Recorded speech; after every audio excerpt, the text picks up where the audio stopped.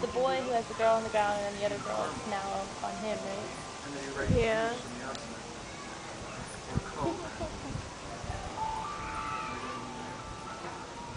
well, there's an old.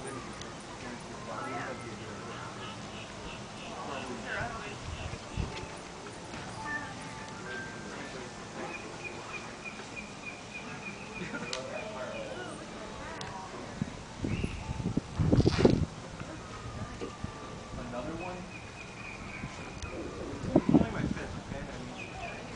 I'm straight to